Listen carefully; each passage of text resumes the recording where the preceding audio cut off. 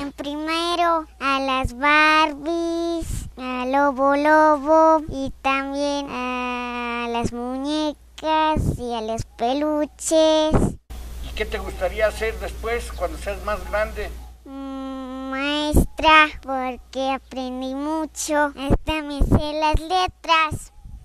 Eh, me sé la A, la U. Y la letra P, la M, la N. Y la ñ, la T. mm, ¿Ya escribes tu nombre? sí, ¿Sí ya pones tu nombre? sí.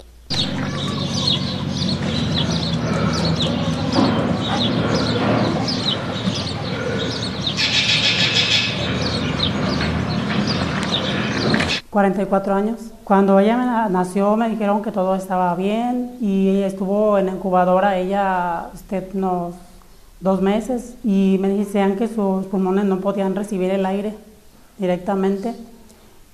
Y pues me dijeron que, que todo estaba bien, después me dijeron que tenía un síndrome, que es un síndrome de Wilson, que no la dejó desarrollarse adecuadamente.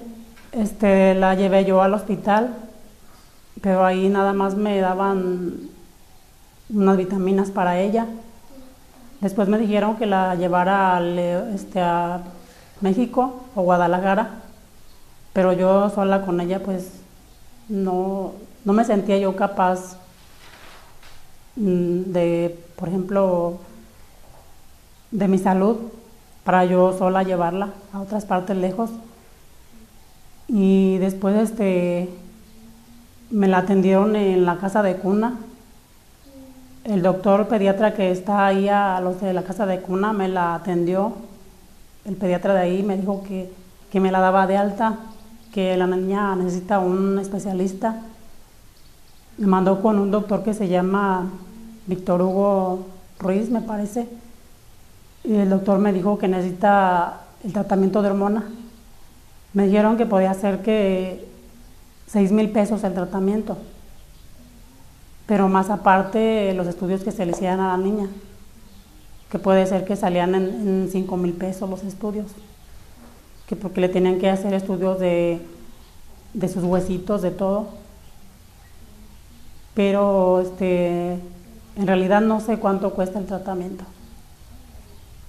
Mm, Pues yo creo que los estudios, los estudios, porque el doctor me dijo que, que después de los estudios, este, ahí tendrían que ver cuántas dosis necesita la niña de hormona. No, no, no sé cuánto cueste el estudio ni, ni la hormona, tampoco no sé. Aquí en la clínica de aquí del centro de salud de aquí de San Lorenzo mm, la estoy llevando, pero nada más le daban papilla. Después ya no le dieron porque ya de cierta edad ya, ya, no, les, ya no les dan. Y ahorita nada más la llevo cada mes, pero nada más la pesan, la miden. Eso es lo único. Y no le dan más vitaminas. Eh, por ejemplo, cuando la empecé a llevar, la niña medía 54 centímetros y ahorita mide, mm, pues ya pasa de 90 centímetros. Y este pesa pues ya casi cerca de 10 kilos y medio. Pero lo que pasa que la doctora me dice que, que de repente ella mm, sube unos gramos. A la siguiente vez que la llevo, eh, pesa lo mismo.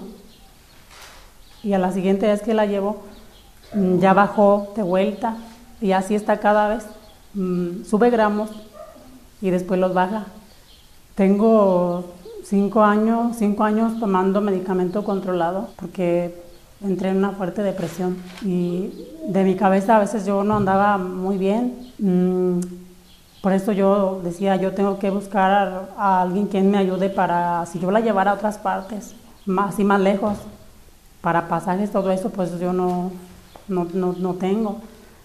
Y, y me comuniqué al, al Teletón de Irapuato alguna vez, me dijeron que pasaran tres años para que la pudieran atender a ella, hasta que le fuera tocando que de, de tantos niños que hay.